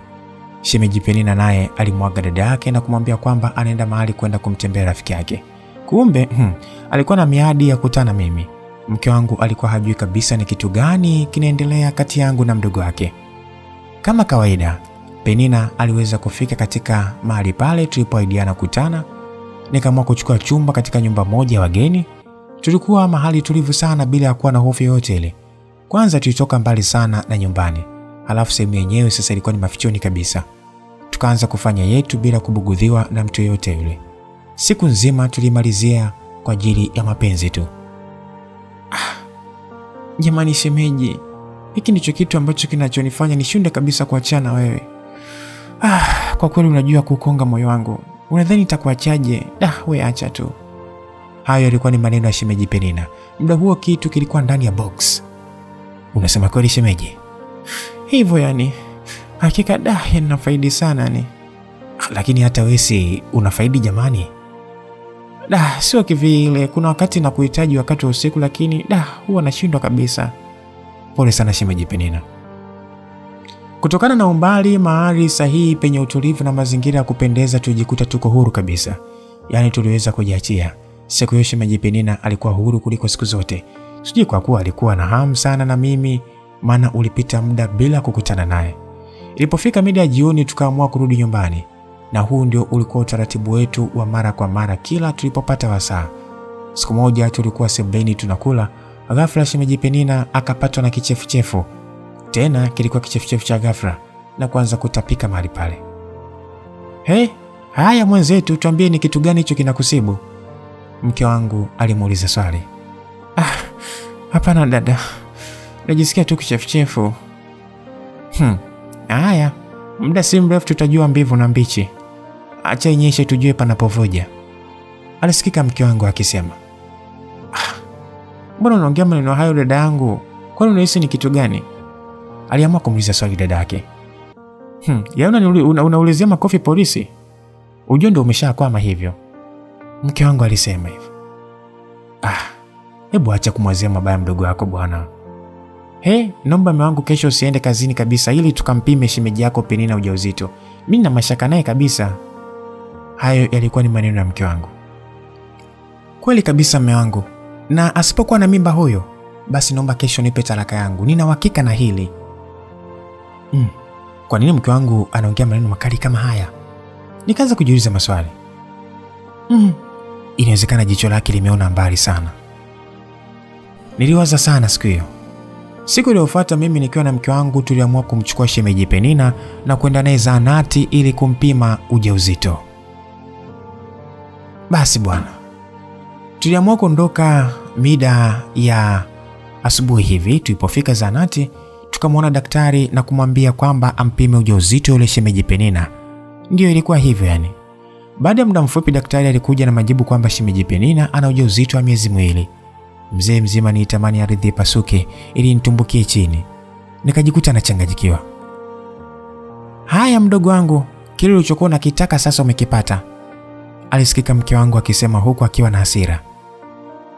Shemeji yako alikukanya we, ukamwona hana maana kabisa eh? Siku zote asiyesikia la mkuu vunjika guu, na haya ndio matokeo yake. Muda huo bwana, akili yangu ilikuwa haifanyi kazi kabisa. Balaa gani hili jamani? Nilikuwa nawaza kichwani mwangu. Ukisikia mtu mzima analia, ujue kuna jambo, na jambo lenyewe ndio hili sasa. Kweli nimeamini mbiu za sakafuni huishia ukingoni. Ukisikia fedheha ndio hii sasa. Da, sijui itakuwaje iwapo mke wangu atagundua kwamba mimi ndio mhusika wa hii mimba. Yaani, na tukifika nyumbani, naomba unieleze haraka ni nani mhusika wa hiyo mimba. Sijui umenielewa? Hayo yalikuwa ni maneno ya mke wangu. Aise, kijasho chembamba kilianza kunitoka. Muda huo huo shemeji Penina alikuwa kimya kabisa, sijui hata cha kufanya. Alijisikia aibu sana. Nilipofika nyumbani, nilijifanya nimekasirika sana, nikaanza kumfokea mbele ya dadake. Sikiza shemeji Penina, sawa? Mimi naenda kazini, nikirudi nataka nimjue ni nani aliyekutia mimba hiyo, sawa? Hmm. Eh, nilimwambia kwa kuzuga tu, huku nikijua kwamba mimi ndio mhusika. Alafu mdau sasa, nilikuwa na hofu kubwa sana kutokana na tukio lile. Na mimi nasema hivi, ukishamtaja mwenye mimba yake, basi uende huko huko, sitaki kabisa kukuona hapa nyumbani kwetu, alisikika mke wangu akisema hivyo. Nikatoka pale na kwenda mahali fulani, kisha nikaamua kumpigia simu shemeji Penina. Hello, nakuomba uje katika hii baa ya mafichoni hapa, nimwambia shemeji Penina. Haya, niko njiani nakuja, alijibu hivyo. Baada ya muda mfupi, shemeji Penina aliweza kufika katika eneo la tukio. Bila kupoteza muda, tukaanza kuzungumza ile jambo letu. Unaona sasa Penina, mambo yameshaharibika. Ah, bwana, huu si wakati wa kwanza kulaumiana shemeji, tuangalie ni kitu gani cha kuweza kufanya. Ah, kwani kuna uwezekano wote wa kuitoa hii mimba? Ah, uwezekano upo, lakini mimi siko tayari kabisa. Ah, una maana gani kusema hivyo? Nataka nizae na wewe shemeji. Ukweli kwamba nakupenda sana. Ya, yani uwezi amini, nakupenda shemeji. Ah, hivi wewe Penina uko sawa kweli? Hivi utazaaje na mimi wakati mimi ni shemeji yako? na akili kweli? Ah, sasa wewe, mbona nimetembea nawe wakati ni shemeji yangu eh? Hivi kwa nini unaleta masiala wakati mambo yameshakuwa magumu kiasi hiki? Na kwa nini unafanya mzaa katika jambo la hatari sana wewe? Hakuna namna shemeji, hili limeshatokea, alisikika akisema hivyo. Ah, Kwa hiyo tunafanyaje sasa? Mimi nakusikiliza wewe shemeji. Da, sijui itakuwaje bwana. Da, msikilizaji, muda huu akili yangu ilikuwa ifanyi kazi kabisa. Basi nikaona nimuombe tu Penina asintaje katika mimba hiyo. He? Hmm. Haya sawa, ila sikiliza shemeji yangu, usiofu kuhusu hili, lakini naomba uniahidi kitu kimoja tu. Wewe umehitaji mimi nisikutaje, basi naomba uniahidi kitu kimoja. akitugani Kitu gani tena Penina? Mimi sitokutaja, lakini ahidi kwamba hautoniacha. Shemeji Penina, hebu acha utoto bwana. Ina maana bado tu una ndoto ya kuwa na mimi tena?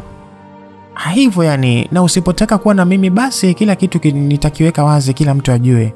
Yaani kama ni jipu nitalitumbua mchana kweupe. Da.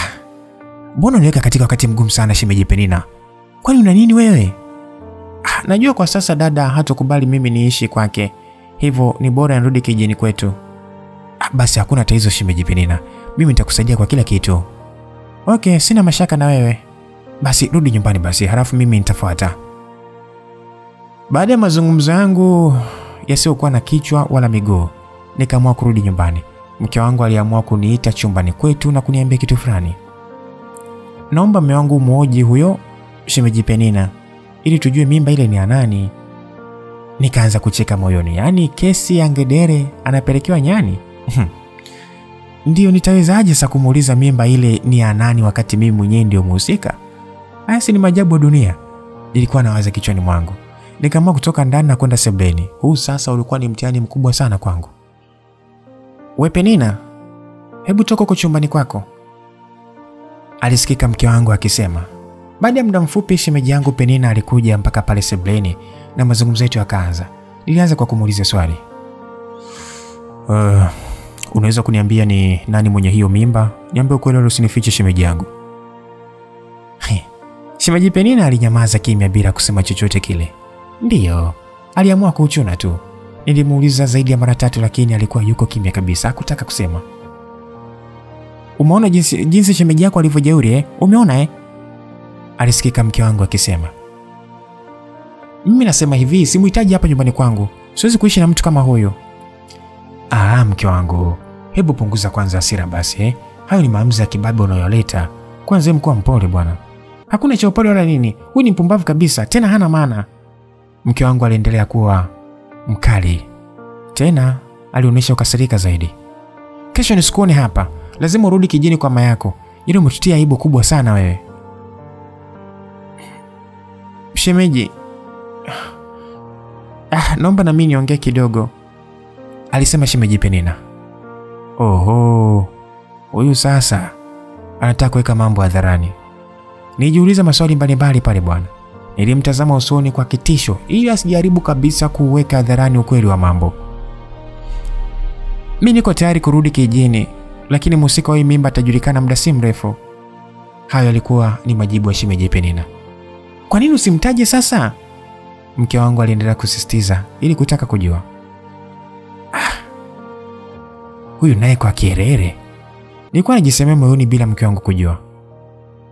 Hebu naombeni mnielewe basi. Nimesema kwa sasa hivi sitamtaja mhusika wa hii mimba, lakini muda ukifika kila kitu kitakuwa wazi kabisa, mtaweza kumjua. Kwa kiasi fulani nikapata faraja, maana presha ilikuwa iko juu sana. Hey, msikilizaji ee, haya mambo yasikie tu kwa mwenzio na wala usiombe kukute kabisa. Yaani nilikuwa niko hoi bin taban. Siku hiyo iliyofuata bwana, nikaamua kumpa nauli shemeji yangu Penina na kuamua kurudi zake kijini. Je, itasaidia nini? Eh? Bado nilikuwa nawaza. say, dawa ya kidonda kilichopo mguuni ni kukitibu na wala sio kukata mguu. Siku zote matatizo huwa hayakimbiwi, bali matatizo hutatuliwa. Nilikuwa najisemea mwenyewe moyoni. Huku nyuma nako mambo yalikuwa hivi. Ah, mimi nahisi hii mimba itakuwa ya Beka kabisa, alisikika mke wangu akisema. Ah, Beka ndio kijana gani huyo? Niliamua kumuuliza. Kuna kijana mmoja huwa anapitaga sana hapa, alisikika mke wangu akisema. Oh, inawezekana eh? Nikaamua kumuuliza tu kwa kuzoga. Mke wangu aliamua kumpigia simu mama yake aishie huko kijini na kumwambia ukweli. Samani sana mama, naomba mwoji mwanao ili tujue hiyo mimba ni ya nani. Hayo yalikuwa ni maneno ya mke wangu. Mm, nahisi mke wangu kuna kitu atakuwa anakihisi. Mbona kalisikia bango swala hili? Nilianza kujiuliza. Ndio kama mlivyoona, kwa sasa shemeji Penina yuko kijini huku akiwa na mimba. Kwa hiyo hali ilikuwa ni hatari. Hivi kwa nini mke wangu umeamua kuchukua maamuzi magumu kama yale ya kumfukuza mdogo wako Adamu Penina? Uko sawa kweli? Yaani umefanya kitu cha ajabu sana. He? He, hivyo ime wangu. Kwa hiyo wewe ulitakaje? Eh, nilimleta kwa ajili ya kusoma. Kabla ya matokeo tayari kashabeba mimba.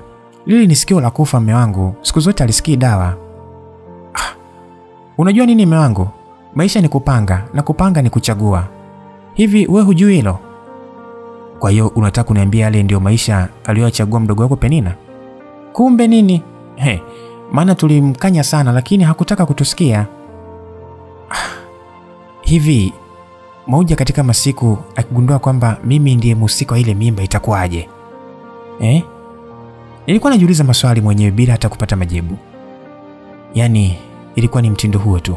Huko upande wa pili nako mambo yalikuwa hivi. Mama yake shemeji Penina aliamua kumweka chini binti yake na kumhoji ili kutaka kujua kwamba ile mimba ni ya nani. Hebu niambie mwanangu, hiki ndicho kitu ambacho kilikupeleka mjini? Hapana mama. Aya, hiyo mimba ni ya nani? Baada ya kujifungua mwenye mimba mtamjua tu, msiwe na haraka sana juu ya swala hili jamani.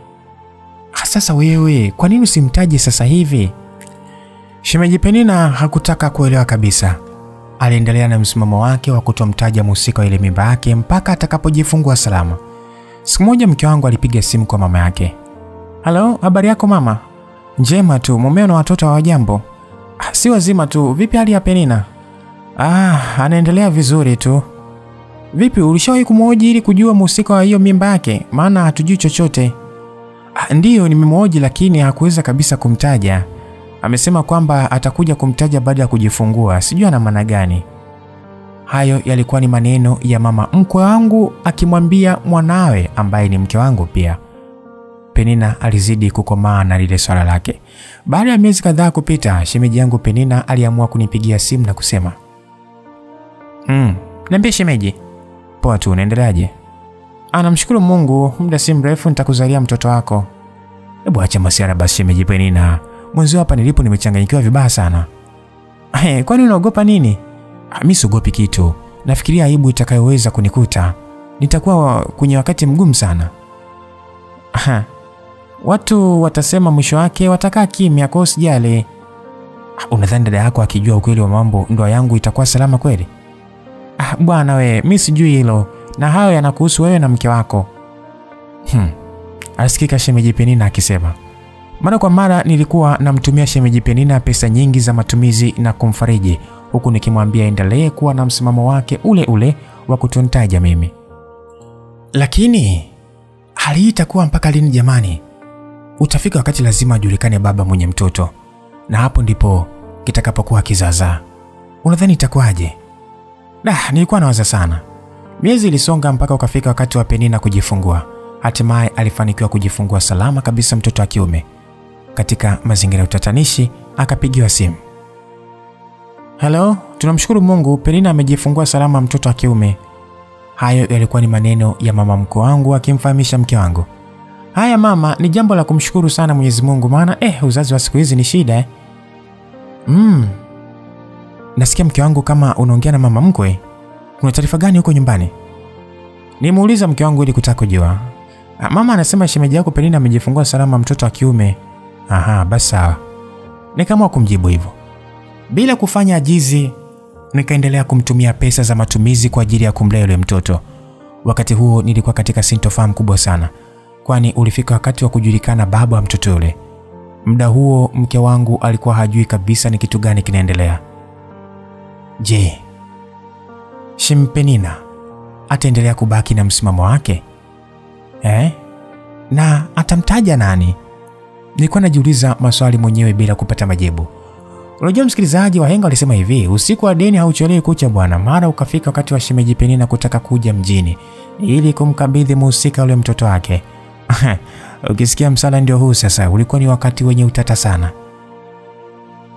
Mama, kwa sasa nimeshajifungua salama, hivyo naenda jijini Dar es Salaam kumkabidhi mtoto baba mwenye mtoto wake kama nilivyokuambia wakati nikiwa mjamzito.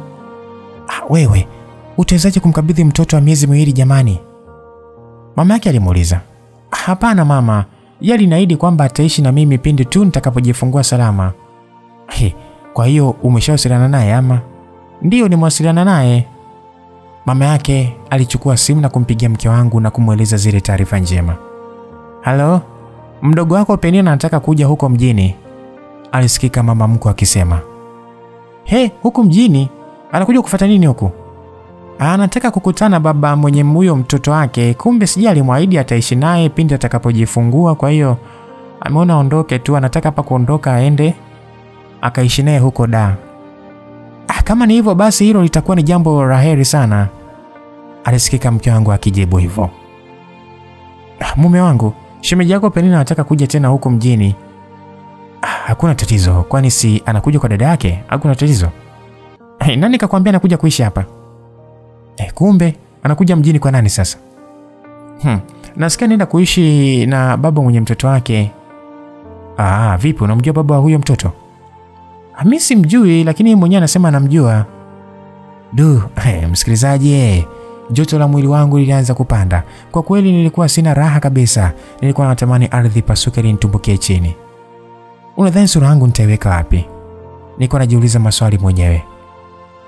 Halo shemeji, kesho natarajia kuja huko Jinda. da. Oh, basi sawa shemeji, hakuna tatizo, lakini nakuomba sana usinitaje katika hiyo mimba yako. Naomba uendelee kufanya siri shemeji yangu Penina. "Ah, Lakini shemeji, utaendelea kuficha mpaka lini? Aliuliza swali, alikuwa anataka kujua. "Ah, Jamani, kwani kuna ulazima gani wa kunitaja? Kama ni huduma mimi si ninatoa bila matatizo yote. Ha, kwa hiyo nikija huko utanipangia chumba? Ndiyo, nitakupangia chumba na kukuhudumia pia, yaani utapata kila kitu cha muhimu.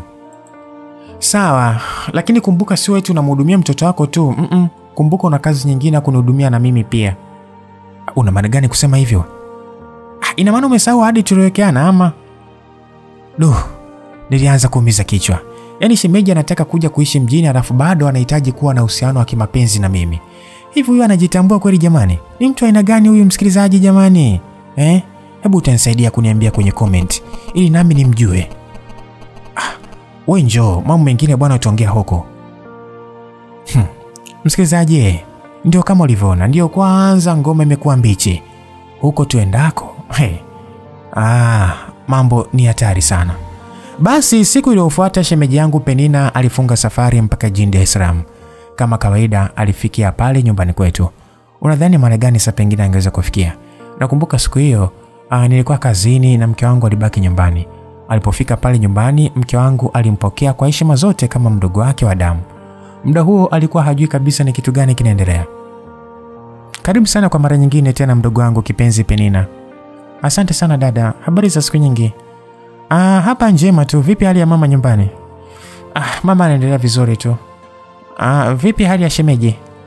Ah, shemeji yako ni mzima tu ila ameenda kazini mara moja, muda wote tunaweza kurudi. Hongera sana mdogo wangu kwa kujifungua salama. Hili ni jambo la kumshukuru Mwenyezi Mungu. Ah, asante sana dada. Hebu basi mlete mwanangu hata anisalimie. Huyu hapa dada. Haya, mchukue. Mke wangu alimchukua yule mtoto ndani ya dakika tano, alikuwa ameduaa, maana yule mtoto alifanana kabisa na mimi kwa kila kitu. Ndiyo, yaani ilikuwa ni damu yangu haswa. Mke wangu alianza kujiuliza maswali mwenyewe bila kupata majibu. Alikuwa katika sintofahamu kubwa sana juu ya mdogo wake Penina. Mm, mbona nashindwa kuelewa huyu mtoto wa nani? Mbona anafanana na mme wangu? Ah, vipi dada, mbona unashangaa sana? Ah, lazima nishangae mdogo wangu, maana huyu mtoto anafanana sana na mme wangu. Shemeji Penina aliposikia maneno yale akaanza kuona aibu na kuinamisha kichwa chake chini. Ndiyo, sialijua kabisa dada yake ameanza kujua ukweli wa mambo. Eh, mdogo wangu Penina, unaweza kuniambia ukweli huyu mtoto ni wa nani? Penina alikuwa kimya kabisa, sijui cha kusema, yaani alikuwa anaona aibu. Sitaki kuamini kabisa kama hiki ninachokiona. Kwani kuna kitu gani kinaendelea mdogo wangu? Inawezekana kuna kitu unanificha. Mke wangu alimuuliza mdogo wake swali hilo ili kutaka kujua ukweli wa mambo. Penina naye alizidi kuona aibu. Alikuwa kimya kabisa huku akiwa ameinamisha kichwa chake chini. Alikuwa katika wakati mgumu sana. Wakiwa katika tafakuri nzito, mara baadhi ya majirani walikuja pale nyumbani kwetu kwa ajili ya kumpa pongezi shemeji yangu Penina. Hongera sana Penina. Mm, jamani mtoto wako ni mzuri. Bwana anafanana sana shemeji yako? Yaani kuuli, huwezi kuuliza hata mara mbili mbili. Shemeji Penina akazidi kuchanganyikiwa. Taharuki kubwa ikaanza kuzuka pale nyumbani. Mke wangu alikuwa hajui kinachoendelea, huku majirani kila mmoja akiwa anasema lake. Kwa upande wa shemeji Penina alikuwa ni kilio tu, yaani kila kitu pale nyumbani kilikuwa hovyo hovyo kabisa. Mdogo wangu Penina, kuna swali nimekuuliza lakini hukunijibu. Hivi unataka nikueleweje? Shemeji Penina alizidi kulia tu. Tena alikuwa analia mbele ya majirani ambao walikuwa pale nyumbani. Najua kuna kitu kilikuwa kinaendelea kati yako na shemeji yako. Yaani wewe ni mshenzi sana wewe. Mke wangu akaanza kuwa maki na kusema hivyo. Muda si mrefu na nitajua ukweli. Mara majirani waliaga na kuondoka. Huko nje sasa, hao majirani walianzisha mazungumzo yao. Habari ya mjini ilikuwa ni Penina na shemeji yake. Du, hmm, tulionekana kama vituko vile. Shoga yangu, wivu unahisi kutokana na ule mtoto kufanana na shemeji yake, unahisi nini labda? Alisikika jirani yangu mmoja akimuuliza mwenzake swali hilo, maana alianza kuiona picha nzima ikionekana. Kila kitu kilikuwa dharani kabisa na kulikuwa hakuna kabisa kificho. Hata we msikilizaji ungekuwa hapo ungeanza kuhisi sasa, kwa nini Penina angeanza kuhofiahofia kujibu ama kuanza kujilizaliza? Si hata mwenyewe ungehisi kitu jamani. Ah, Pale baba mwenye nyumba amekula kuku na mayai yake. Eh, siku hizi hakuna ushemeji kabisa, watu wanakula. Eh, jamani, sasa itakuwaje? Ah, tuone shoga yangu. Mbona nashindwa kuamini, maana yule baba haendani kabisa na tukio hili jamani. Eh, yani mwonekano wake na haya aliyowafanya huwezi kuamini. Mm, sikiliza shoga yangu, usisifie nyumba kwa uzuri wa rangi yake, ingia kwanza ndani uishi. Yule jirani aliongea neno la fumbo akiwa na maana kwamba usimhukumu mtu kwa mwonekano wake, unatakiwa ujue tabia yake. Yaani ndani ya muda mfupi pale mtaani heshima yangu ilikuwa imeshuka ghafla. Sasa sijui ni nani aliyeanza kumtaka mwenzake kimapenzi. Walianza kujiuliza maswali. Hmm, usikute yule binti alimtega shemeji yake. Si unakumbuka vile vinguo alivyokuwa anavaa? Maana alikuwa anabinua vitako vyake utadhani sijui ndimu iliyokosa maji vile. Yaani hana maana kabisa. Mara mwenzake akadakia. Hmm, shemeji mtu naye kaingia kwenye kumi na nane. Akasema usinitania, akala mzigo. lako hilo, kama sio lako basi la jirani yako alisikika akisema kumwambia mwenzake, si unajua tena mambo ya mtaani eh? Ehe, kama ni pele sasa limempata mkunaji. Mke wangu aliingia chumbani kwake na kuanza kulia kwa uchungu. Alikuwa na mawazo sana. Da, nilikuwa sijui kabisa kama naishi na nyoka mwenye sumu kali humu ndani. Hivi mume wangu kweli unawezaje kufanya upuzi kama huu? Alikuwa anajiuliza maswali mengi sana. Muda huo shemeji Penina alikuwa sebleni tu analia, yaani ilikuwa ni aibu ya mwaka. Zile taarifa zilianza kusambaa mitaani kupitia kwa majirani wa Mbeya. Mara muda wa kutoka kazini ukafika, hivyo nikaamua kufunga ofisi na kuanza safari ya kurudi nyumbani kwangu. Kichwani mwangu nilikuwa na lindi la mawazo. Nilikuwa nawaza ni jinsi gani nitaweza kuificha ile siri ili mke wangu asijue chochote kile kinachoendelea. Nilikuwa sijui kama huko nyumbani mambo yalikuwa yameshaharibika isee, na nitaendelea kuificha ile siri mpaka lini sasa? Nilikuwa najiuliza maswali mwenyewe bila kupata majibu. Nikiwa njiani, mara nikasikia simu yangu ya mkononi inaita. Nikaamua kuchukua ili nipokee, kumbe alikuwa ni mke wangu. Halo mume wangu, uko wapi? Na, niko njiani narudi. Kulikuwa ni mke wangu, mbona kama unalia hivi? Usijali, utakuja tu kujua pindi ukifika nyumbani. Pale pale aliamua kukata simu yake. Oh oh, nikaanza kuchanganyikiwa na kujiuliza maswali mwenyewe bila kupata majibu. Aisee, nilichoka hoi. Mm. Hmm. Inaelekea huko nyumbani hakuna usalama kabisa. Nilikuwa nawaza kichwani kwangu. Baada ya kufika nyumbani nilimkuta shemeji yangu Penina akiwa pale sebuleni huku akiwa na huzuni kubwa sana. Alionekana ni kama mtu aliyetoka kulia, maana macho yake alikuwa yamevimba sana. Yaani alikuwa mnyonge sana, utadhani mtoto yatima. Habari yako Penina? Njema tu shemeji. Shikamo. Maraba, Kulikoni shemeji? Mbona kama ulikuwa umetoka kulia hivi? Shemeji Penina alikuwa kimya kabisa na sijui cha kusema. Sasa kimenuka. Nilikuwa najisemea moyoni mwangu, maana si kwa ukimya huu ninauona hapa nyumbani. Mtoto yuko wapi? Yuko huko ndani na mama yake mkubwa. Mm. Hmm.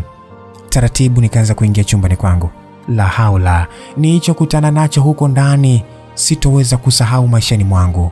Ndiyo, nasema sitoweza kusahau kamwe. Unajua nilikuta nini? Ha. Mke wangu aliamua kuchukua pasi ya mkaa na kunipiga nayo kichwani. Ghafla nikaanguka chini huku nikipiga mayoyo ya uchungu. Damu nyingi sana zilikuwa zinantoka huku nikiwa na maumivu makali sana. Kitendo kile cha kupiga mayoyo kutokana na maumivu makali kilimfanya shemeji yangu Penina aingie chumbani kwetu haraka sana. alinkuta mimi nikiwa chini na gaga kwa maumivu. Penina alikasirika sana na kuanza kumfokea dada yake. Alianza kumtolea maneno makali. Hivi kwa nini umekuwa na roho mbaya ya, ya, ya, ya kiasi hicho dada yangu? Kwa nini na roho ya kinyama hivyo? Muda huo dada yake alikuwa ameshaanza kuchanganyikiwa, kwani alifanya kitendo kile akiwa na hasira nyingi sana kichwani mwake. Ajikuta tu anachukua maamuzi magumu bila yeye mwenyewe kupenda. Haya mambo hey, usiombe akakuta. Kwa kweli inasikitisha kupita kiasi. Nasema toka nje haraka sana, alisikika mke wangu akisema kumwambia Penina. Hapana, siwezi kutoka. Naye alimjibu hivyo. Aha, ina maana hujui kwamba wewe ndiye chanzo cha matatizo haya eh? Sinakuuliza wewe. Ah, hata kama ni mimi, lakini ukupaswa kuchukua maamuzi magumu kama haya dada. Mara majirani zetu walifika baada ya kusikia yale mayowe. Walinikuta nikiwa chini na gagaa, huku damu nyingi sana zikiwa inanitoka kichwani mwangu. Nilikuwa hoi pale chini aise. Ah, jamani, kwani kimetokea nini? Alisikika mzee mmoja ambaye ni jirani yetu akiuliza swali na alikuwa anataka kujua kitu. Hakukuwa na majibu yote pale. Yule mzee alitoka nje na kuomba msaada kwa baadhi ya majirani wengine, kisha wakanichukua na kunikimbiza hospitali. Kutokana na jeraha kubwa nililopata, daktari aliamua kunishona na kupewa kitanda kwa ajili ya mapumziko. Huko nyuma, taarifa zile ziliwafikia chombo cha dola bwana. Askari walikuja nyumbani kwangu na kumkamata mke wangu. Wakati huo mimi nilikuwa chini ya uangalizi wa madaktari bingwa pale hospitali. Hali yangu ilikuwa mbaya sana kwa kuwa nilitokwa na damu nyingi sana kichwani mwangu. Yaani weacha tu msikilizaji. La, madaktari waliendelea kunipatia matibabu yanayostahili. Baada ya kupita masaa kadhaa nilianza kupata nafuu. Maumivu yalianza kupungua. Wakati huo nilikuwa nimeshapoteza kumbukumbu kwani nilikuwa sijui hata chanzo cha mimi kuwepo pale hospitali. Mara nikamwona Penina akiwa amesimama mbele ya kile kitanda changu ambacho nilikuwa nimelazwa. Kwa nini kwa hapa? Pole sana shemeji. Ina maana hata ujui kinachoendelea? Hapana, sijui chochote kile. Baada ya muda mfupi aliamua kunisimulia mkasa mzima kuanzia mwanzo mpaka mwisho bila kunificha kitu chochote. Ndipo kumbukumbu zangu zikaanza kurudi na kujua kinachoendelea. Hali yangu ilitengamaa na kuruhusiwa kurudi nyumbani. Kichwani mwangu bado nilikuwa nawaza ni kwa kiasi gani nimekwaza ama nimemkwaza mke wangu mpaka kuamua kuchukua maamuzi magumu kama yale. Moja kwa moja nikafika pale sebleni. Baada ya muda mfupi, mke wangu alirudi kutoka polisi baada ya kushikiliwa kwa masaa kadhaa. Alinikuta pale sebuleni ikiwa nimekaa.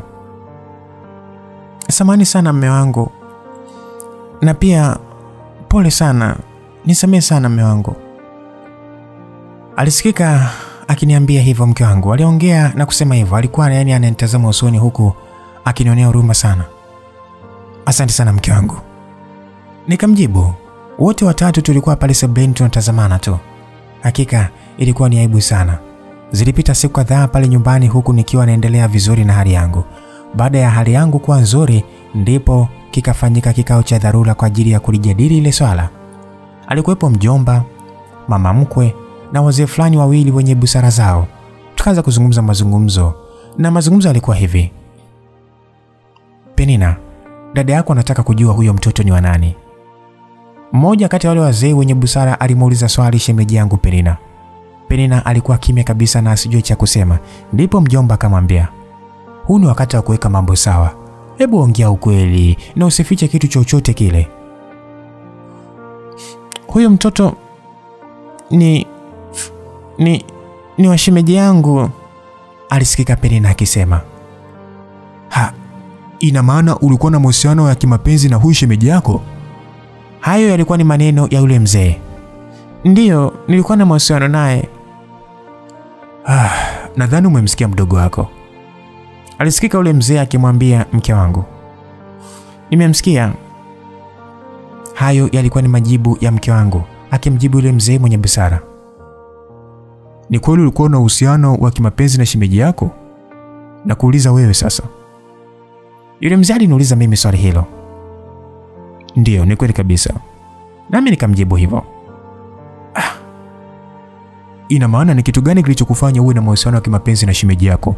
Ina maana hukuona wanawake wengine huko pembeni? Yule mzee aliniuliza mimi hilo swali. Ah, jamani, mnisamehe sana, ni shetani tu amenipitia. Mara akadakia shemeji Penina na kusema ha, mimi ndiye ninayepasa kulaumiwa kwa hili. Naomba shemeji asipewe lawama yote ile, kwani nilimweka majaribuni. Hakuwa tayari kabisa kuwa na mimi, bali nilimfanyia vibweka tu. Hayo yalikuwa ni maneno ya shemeji Penina akisema kuwaambia wale wazee. Una maana gani kusema hivyo? Ah, mimi ndiye niliyemfanyia vishawishi kiasi cha yeye kuingia katika mtego wangu. Ilikuwa ni ngumu sana kukwepa, kwani niliingia chumbani kwake wakati wa usiku huku nikiwa nusu uchi, kitu ambacho kilimfanya ashinde kujizuia kabisa. Sio hapo tu, bado nilikuwa naendelea kumsumbua baada ya kunogewa.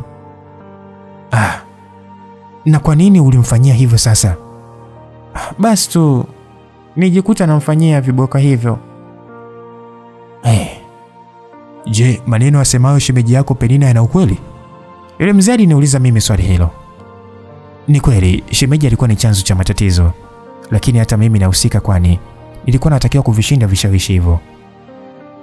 Ah, haya yameshatokea na hayawezi kubadili kitu. Vipi na wewe una maoni gani katika hili?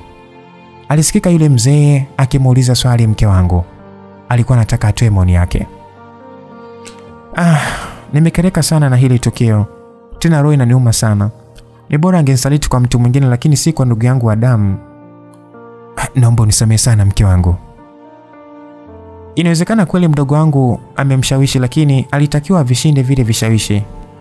Mke wangu aliongea huku akionekana ni mwenye hasira sana. Ah, kwa hiyo sasa nini kifanyike ili tumalize huu mjadala jamani? Alisikika mjomba wangu akisema hivyo. Ah, hakuna namna. Penina na shemeji yake wanatakiwa wote kuomba msamaha. Hayo yalikuwa ni maneno ya yule mzee. "Eh, Samani sana mke wangu, naomba nisamehe kwa hilo. Samani sana dada, nami nakiri kosa. "Ah, Mimi nimewasamehe, lakini sitowasahau, alisikika mke wangu akisema kwa lengo la kutuambia sisi. "Ah, Jamani, yaliyopita si ndwele, tugange ajayo. Hayo yalikuwa ni maneno ya mjomba akisema katika kile kikao. Alitumia busara kubwa sana. Msikilizaji, ndio kama ulivyoona sasa, mke wangu aliamua kutusamehe kutokana na hilo kosa kubwa tulilomfanyia. Ni kitu ambacho nakijutia sana na nimeapa kutokurudia tena. Kuanzia siku ile shemeji yangu Penina aliondoka pale nyumbani na kwenda kupanga mahali pengine, ila jukumu la kumlea mtoto wake lilikuwa chini yangu. Huyu ndiye shemeji Penina bwana. Na niseme tu ya kwamba huu ndio mwisho kabisa wa simulizi hii nzuri kabisa. Simulizi inakwenda kwa jina la Jamani Shemeji. Mtunzi wa simulizi hii anaitwa Saadi Salum Mzora. Pia unaweza ukatupata kwa namba 0677 062012. Niliyekusimulia simulizi hii si mwingine ni mimi Lucas Lumbas kutoka hapa Simulizi Mix. Bye bye.